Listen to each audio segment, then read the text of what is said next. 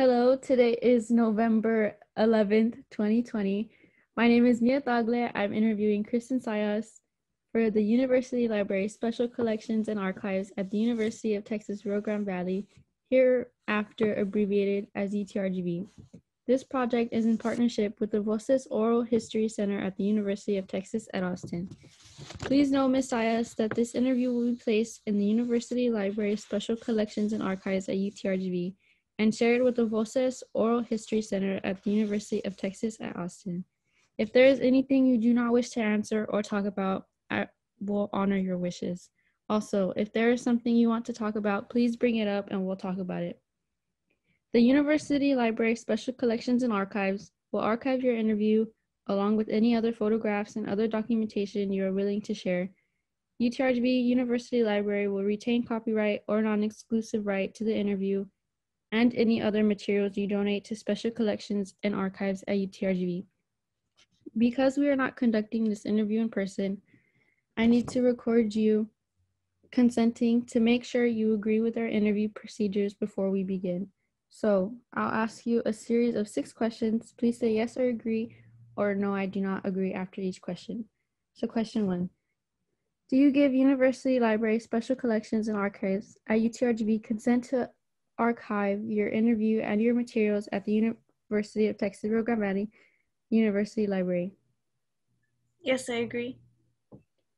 Question two, do you grant UTRGV University Library Special Collections and Archives right, title, and interest in copyright over the interview and any materials you provide? Yes, I agree. Three, do you agree to allow UTRGV University Library Special Collections and Archives to post this interview on the internet where it may be viewed by people around the world? Yes, I agree. Do you grant the University Library Special Collections and Archives consent to share your Zoom interview with the Voces Oral History Center at the University of Texas at Austin for inclusion in the Voces of a Pandemic Oral History mini project, which will include posting this video on the internet? Yes, I agree. As you recall, we previously filled out a pre-interview form. We used information from the pre-interview form to help in research. The entire form is kept in a secure Voces server at the University of Texas at Austin. Before Voces sends it to UTRGV University's Library Special Collections and Archives, we would have stripped out any contact information for yourself or family members so that it will not be part of your public file. Your public file will only be accessible at UTRGV University Library. These final two questions ask for your consent on what I just described. So question five, do you wish for us to share the rest of your interview in your public file available to researchers at UTRGV University Library Special Collections and Archives? Yes, I agree. And the final question, on occasion, UTRGV Special Collections and Archives and Voces receive requests from journalists who wish to contact our interview subjects. We only deal with legitimate news outlets. Do you give consent for us to share your phone numbers or your email with the journalists? No, I do not agree. Okay. Um, thank you for your consent. Your experiences and stories mean a lot to us at UTRGV Special Collections and Archives. I look forward to what you say in the interview questions I will ask after this intro statement. Kristen, thank you for your time. Your stories and and experiences are valuable to us at UTRGV Special Collections. We are committed to preserving the stories of Mexican Americans and Latinos from South Texas and the Rio Grande Valley, and those who work closely with these populations during this COVID 19 pandemic. Because you are a high school senior at Raymondville Early College High School, as well as a babysitter for the community in Raymondville, Texas, I believe you have meaningful stories and experiences to share on how COVID 19 has impacted these roles you carry as well as those around you. So before I ask you to share your stories, tell us who is Kristen Sayas? My name is Kristen Sayas. I am a senior at Raymondville Early College High School, and I am an FFA. I'm in Cotillion PALS, and I like to help out in my community. I babysit to get extra money, and yeah. Moving on, I want to first get your view about COVID 19 with these next questions. So, the first question I want to ask you is When did you hear about COVID 19 and how did you learn about it? For example, like on the TV, the radio, from teachers, social media, or etc.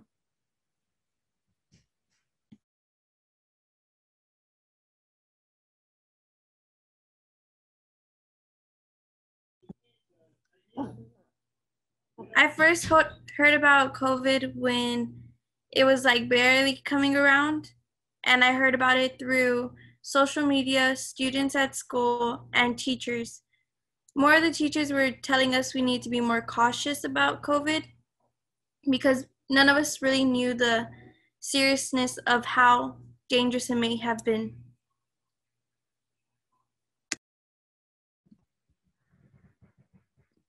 The second question What was your first reaction to the information that you received about COVID 19?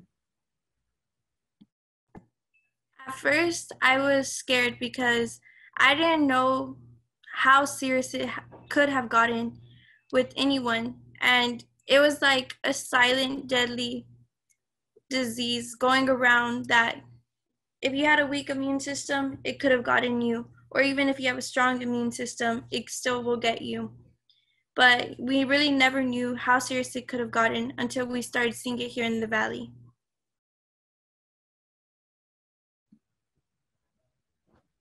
At what point did you realize that this pandemic was a serious life altering event, or do you not think it's serious and why? I believe it is a very serious pandemic that is going on because, like I said, we didn't know how serious it was before it got here in the valley. At first, it was all talk, like we didn't know anything. And once it got here, that's when it started to get everyone like instantly, and we never knew like who had it because it is a silent and no one knows like the symptoms yet. Over the last few months, what news media, social media, or other sources do you rely on to keep you informed about coronavirus? To stay informed about coronavirus, I like to watch our local news because they deal with down here in the valley, and so they will tell you the hot spots and everything. So, for instance, like if I look at the national news, they don't talk about down here in the valley, so you don't know how serious it is down here. But when on local news, that's all they talk about, so you know the seriousness here. Can you share with me what you understand about COVID 19 as an infectious disease? I understand COVID is a very serious topic because you're never safe, even wearing a mask. It's a constant reminder that like you need to keep yourself and your family safe first. And you could put your life at risk going anywhere or being with anyone. So i believe it's like a very serious topic when you don't understand the health guidelines and you don't protect yourself. Would you take the first covid-19 vaccine available on the mar- market? Why or why not Personally, I would not be taking the first vaccines that come around due to them barely coming around and you don't know the side effects or how they may affect you. I would take it if I see other people taking it and it is helping them and it is protecting them.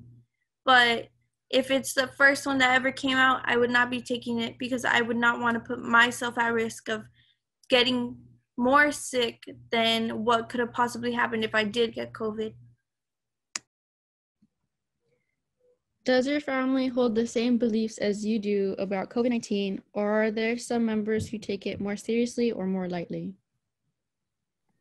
In my family, everyone takes COVID seriously due to my grandpa having diabetes, so his immune system isn't as strong as others.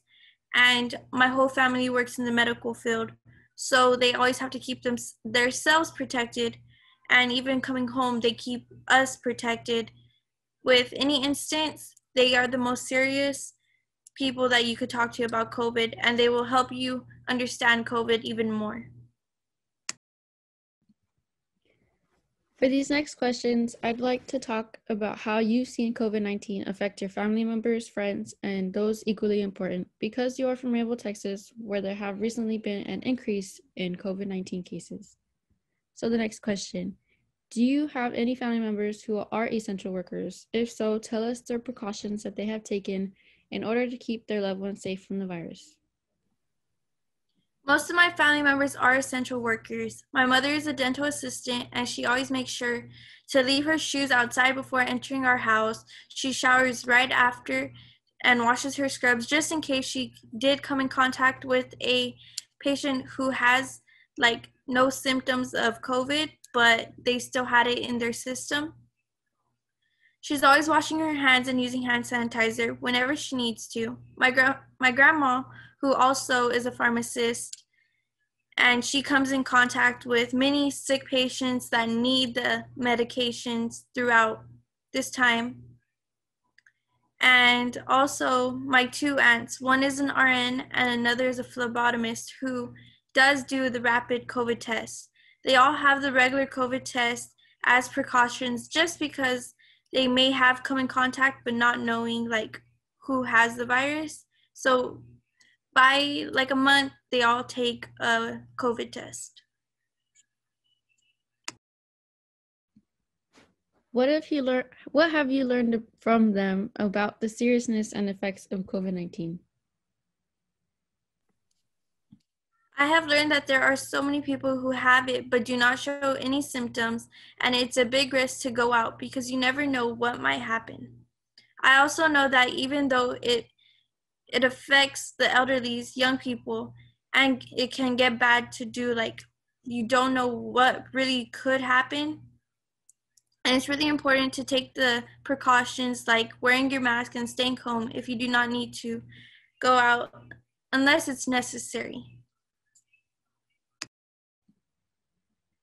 Has anyone in your family contracted COVID-19 and or has died from the virus? If so, describe how that experience was and how you felt about it. Thankfully, nobody in my immediate family has gotten the virus, thanks to the precautions that they have been taking. But I do have a close family member who I consider one of my uncles. He is a state trooper and has to go work during this time of the riots up in Austin. He was there on several occasions, and one time he came home and found out he had the virus. His wife is a nurse and she knows the, the precautions and found out that he did have the virus so she tried to keep her kids away from them, but one of their children did get it.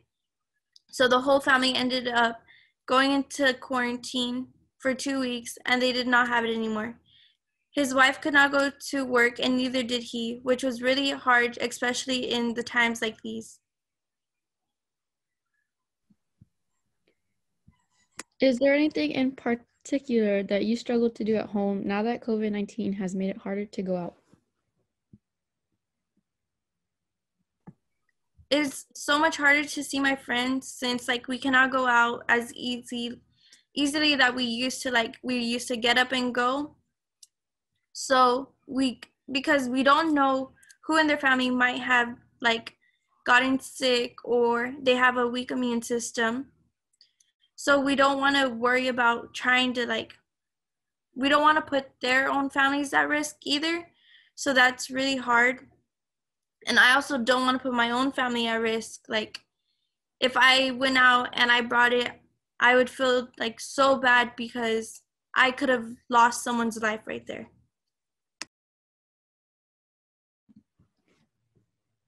How has this pandemic changed the way your family your family celebrates birthdays, anniversaries, graduations, or holidays? And can you give several examples or any memorable stories you might have? It has changed a lot in a lot of ways. Our family is a very big family of 30 or some sometimes more depending on like who we invite. And it's harder to go out to celebrate birthdays with everyone, but we cannot because we're just trying to stay as safe as we can. And now that we have just small get togethers with only the people we see on a daily, like those in our household. It's hard because we we're so used to having such big gatherings at restaurants and at our relatives' house. I also have a friend who graduated last semester, and it's really different with the previous graduations because they had to wear masks and stay six feet apart, and they couldn't take pictures with their friends afterwards like we would normally would. They also couldn't hug each other or throw the caps in, in the air. So it was a really different experience to see at the graduation. How has your brother, who is 13 years old, reacted to COVID 19 and does he think it's serious? Why or why not? He knows he needs to stay at home and wear his mask. If we were needed to go anywhere, which is a rare occasion, because he needs to attend church on Sundays, he doesn't get out as much as as usual, like he usually would. So I don't think he really knows how serious COVID can get. I think sometimes he understands how serious it is, especially to our family having many essential workers. And so they're constantly telling us how serious it is.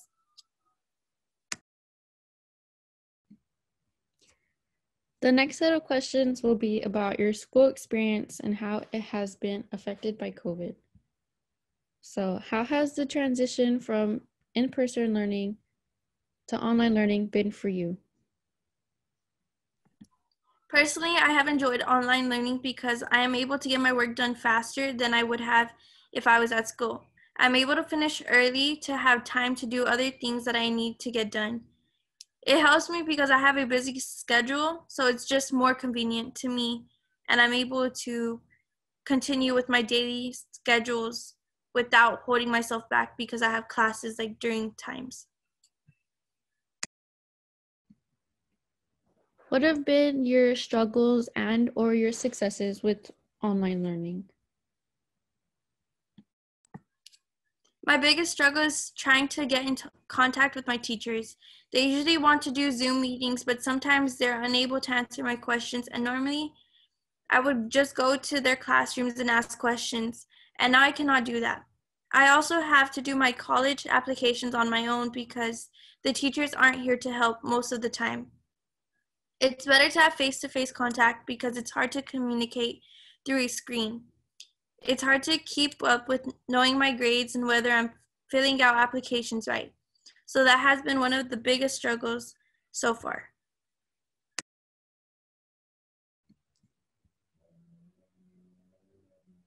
How long has it been since you have been to an in person class, and what are the differences you have seen with online learning compared to in person learning? I have not been to in-person class since last year before the school closed in March. I've been it's been different because in class you're able to raise your hand and ask for help, but now it's harder to interpret interpret the teacher during a class meeting because they cannot fully understand help that we need. Going back to the topic of your brother, what struggles did he face with online learning, or has he not faced any struggles? My brother has faced the biggest struggle because he does have ADD, so his attention is not always there. So whenever he loses focus like easily. So like trying to keep him focused to do all his work on time is the biggest struggle because we don't know what he's thinking mentally so we have to help him and like sometimes we feel like we're pushing too much on him where he gets stressed out and then we get stressed out so the online learning isn't for him i could say like of course he does his work but it's a struggle of trying to get him to do his work and understand his work because he is a person who likes to talk and like he'll talk to the teachers and be like, what is this? And he likes to ask questions. So the online thing it's not working for him because he's just he's not comfortable talking with the screen as he would be talking face to face. Going back to you, how do you feel about COVID 19's impact on your senior year as far as all the senior traditions go, like football games, senior sunrise, or other things that you have at your school? For me, it's really sad. Our games have been limited due to COVID, and we haven't had any pep rallies, which were a big thing for our school. we weren't able to have a small parade as well as and understand that it's necessary to limit our school functions, but it does hurt us sometimes because in our last year of high school, it was supposed to be the most memorable. We have not been able to get together as a class. I feel like our class is really close and it's hard to not do some of the senior like activities. And for other senior classes last year, they were able to have their half of their senior year like they got to do those little memorable things. And we have not been able to do anything for our senior year. So i understand like covid is a big thing but it did take away a lot from us as our junior year and senior year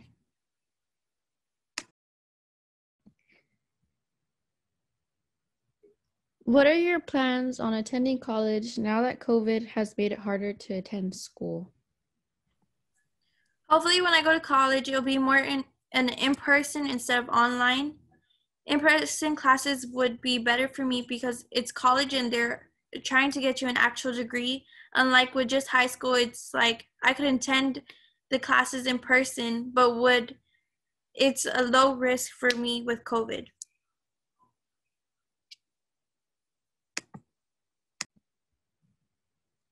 If the offer still stands, why or why would you not attend in person classes next semester in high school? I would stay online student because it's easier to control with my own schedule. It would be easier for me to get a job because I'm able to finish my schoolwork earlier instead of wasting my days in school doing nothing when I could be working help to pay for my own college. I feel like I'm also safer here at home just in case there is an outbreak at school. It wouldn't have I wouldn't have to worry about getting my family sick because I live with my grandparents and they are at high risk as well as my mother and brother.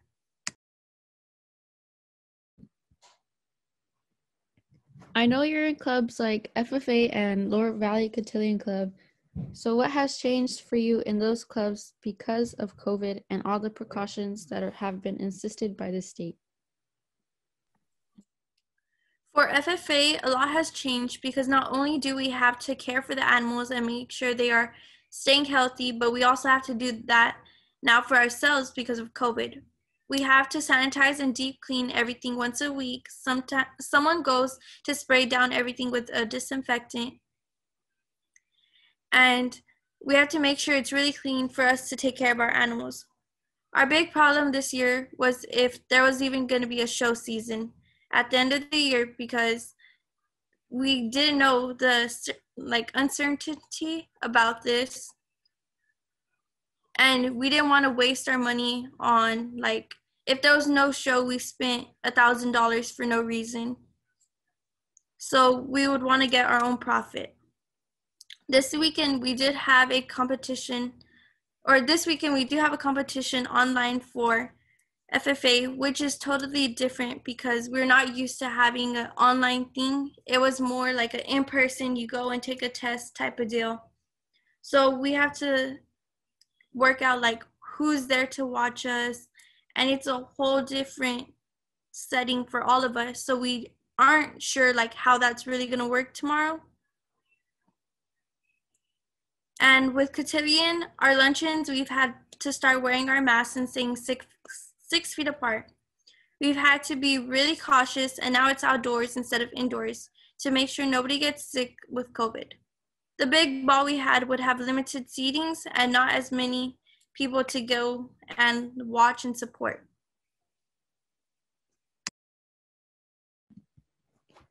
How has your school reacted since first learning about the virus last semester in March? Are there any particular differences from last semester to this semester that you have seen? They have tried to take the best precautions as possible. We've had to switch to online and it was it was new to all of us in the school district, so we're trying to learn together and how to work online and doing the online learning it's easier to do it this semester than last semester because with COVID, when COVID first came, we didn't know exactly what we were doing or how we were gonna do everything personally because it was new to all of us. So this year, it's easier because we already got a little taste of it last year. So now we're all like, we're still trying to figure it out, but we're working together to make it the best experience possible for everyone. Why or why might you not agree with how the school has reacted towards COVID 19?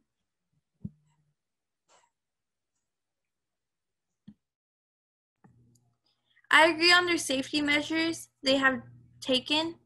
If you need to take something or pick something up from the school, they have someone to do it for you that works there.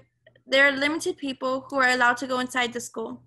They watch who might have been in contact with other people with COVID, so they are very aware of the things that go inside their school and as well as outside. Are there any main tactics that stood out to you that either you liked or disliked about how the school is trying to reduce COVID 19 cases within the school? Personally, I like the way how they I like the way they handled the small little outbreak at the beginning of the year because they shut down the school in order to limit like more cases to arise. And it, they knew how to handle it afterwards. But I also did not like the the fact that once in-person classes were were available, they made it to where the students can switch class instead of keeping them in separate classrooms to limit contact. This has just made it easier for the students to get sick if any of them had been in contact with the COVID patient. How have the staff members and the teachers been reacting to the COVID 19 situation? Are there are they reaching out to help the students or anything else in particular to help them? They've reacted in a good way. They are trying to do their best in in this circumstances. They have been trying to help us with in person, even though they might it might be hard for them sometimes. They are still trying to, which I think is a good thing. They're actually caring for their students and being understanding towards us if we have questions or like any help or advice with college applications.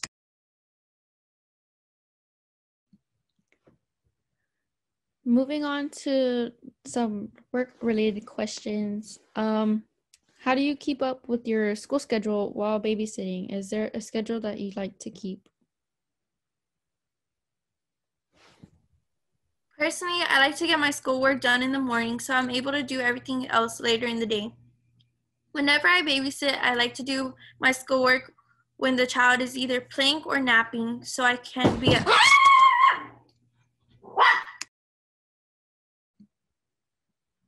That's okay. You can answer whenever you're ready.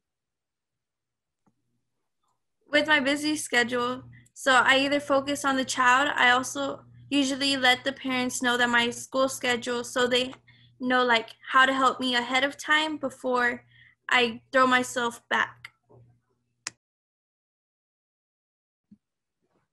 As mentioned earlier, Raymondville has had an increase in COVID 19 cases. What have been your concerns with having to babysit while in a pandemic?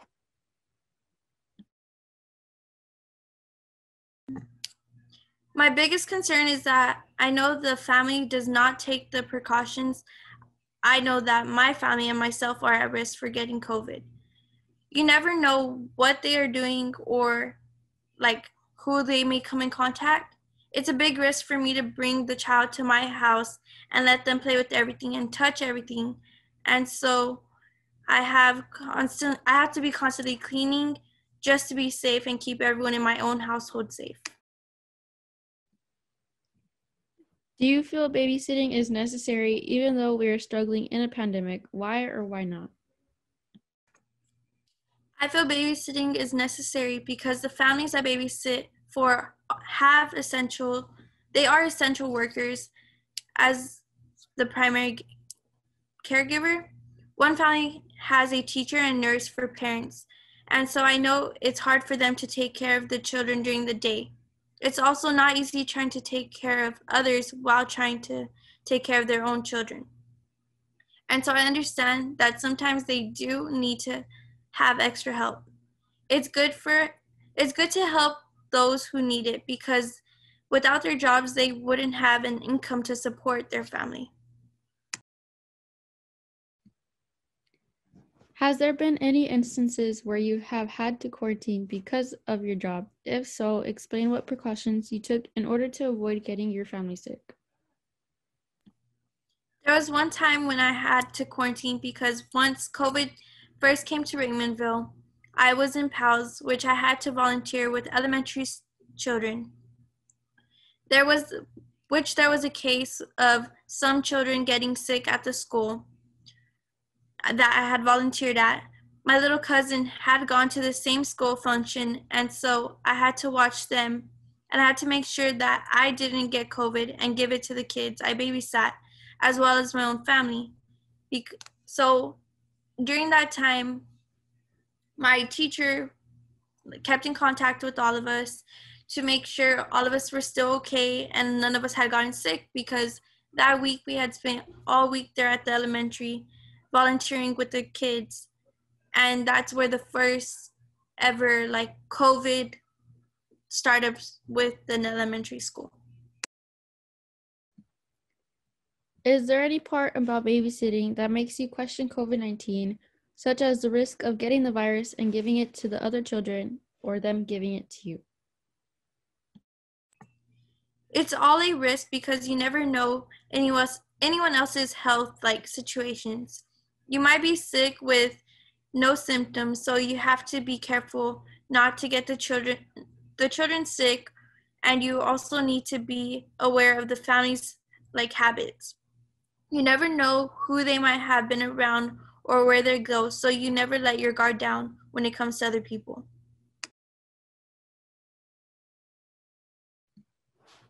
If you were to ever give COVID 19 to a child you babysat, what precautions would you have taken?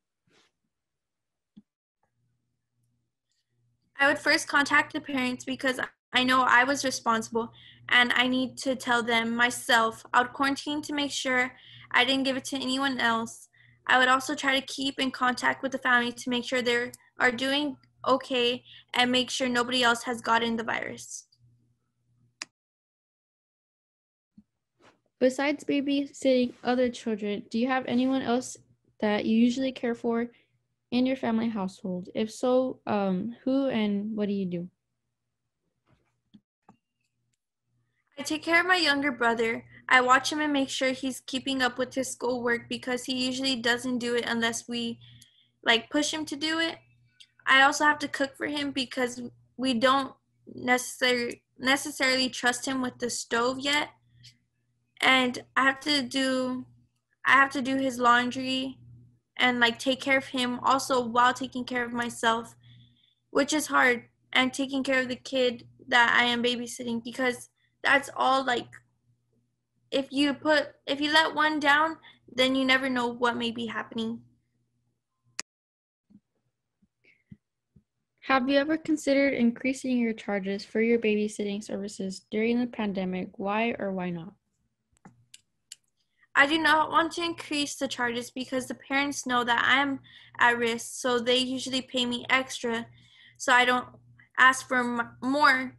And I also know that they are themselves put themselves at risk and they shouldn't have to worry about paying me so much because they, the virus already makes them anxious enough. So these are the last final questions. Sorry.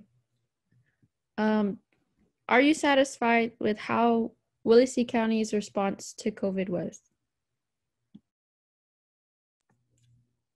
personally i feel like they could have done better than like what they already did they've done the best to their knowledge through though because we've never had an outbreak this big before so they're learning day by day on what might be happening or how to help slow down the spread of the virus they're tired they tried to issue a curfew to help as well as stores and restaurants having a low capacity and make sure the people wear their masks.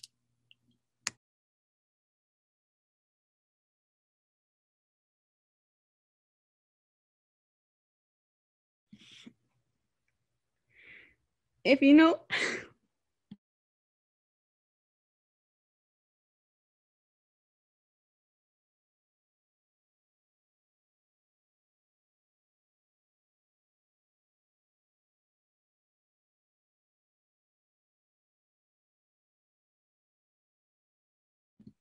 Oh my god, I'm sorry about that. Sorry. Um if you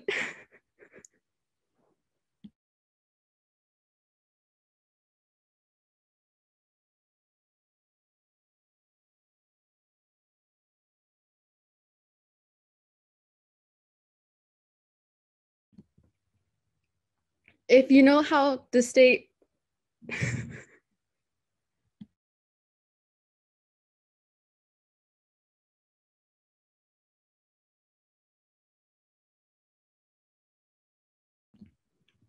I'm so sorry. Oh my gosh. If you know how the state responded to COVID 19, what is your opinion about how it is being handled right now? I feel that the state has not done a very good job with keeping everyone's health first. They're not helping to make sure everyone follows the correct rules and everyone just does whatever they want and they're essentially hurting others as well as themselves. Are you satisfied with the way the president has responded to COVID 19 along with his administration? Um, we're talking about Donald Trump, not Joe Biden. I do not like the way the President Trump has handled the situation due to him having the upper hand and not setting the example of wearing a mask. So when he doesn't wear a mask, it just shows that everyone else that they don't have to wear masks because our own president doesn't even wear his own. And so he has a big influence on on the people and what they do and they follow his footsteps and go they may be going in the wrong direction but they never know because they feel like if he's not if he's doing it then everyone else could do it and it's just hurting our country even more because you're putting others at risk and we're losing our own population due to others not caring about everyone else's health or safety.